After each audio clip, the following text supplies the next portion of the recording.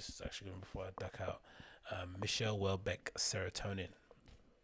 This has given me a very different idea on. Um, gave me a different understanding or different view on how we treat sexual relations between men and women in the workplace or just in general in life.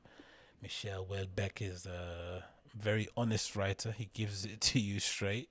Um, some of the accounts in here, I'm hoping are a work of uh, fiction, but I, I, guess they're probably not. You know, if you're Michel Houellebecq, you don't talk no shit. But this book is amazing so far. I'm close to finishing it, and yeah, eye-opening book in terms of what's happening. It's very interesting to read this, and then you know read what's happening with Chris D'Elia and his allegations. You know, um, he sort of prides himself, Michel Houellebecq, on being a debauched, um, aloof, coof, and just you know a guy, right, unabashed male, you know, with sexual desires and rotten thoughts and a bleak view in humanity. Um, it's a really, really, really eye-opening book, honestly.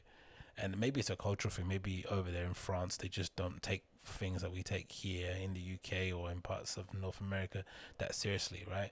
Um, yeah, it's a very very interesting book. I really recommend you check it out. I'm gonna buy a few of these others when I finish this as well. I'm gonna complete complete the set, but um, Michel Houellebecq Serotonin, check it out.